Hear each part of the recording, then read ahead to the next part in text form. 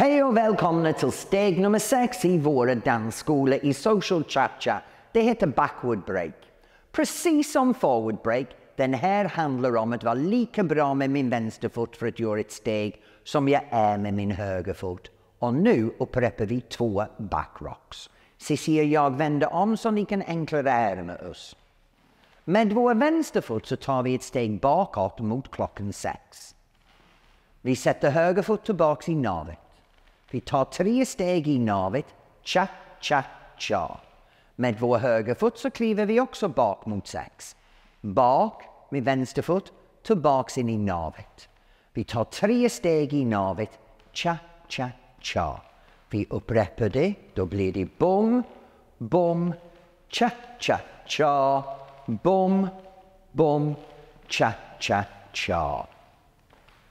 När vi står mitt emot varandra så har vi flera fattningar vi kan använda.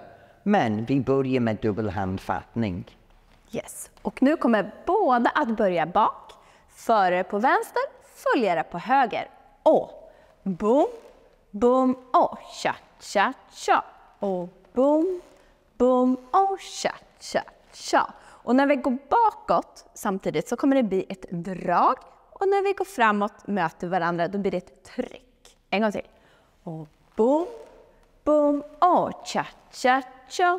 Och boom, boom, och cha, cha, cha.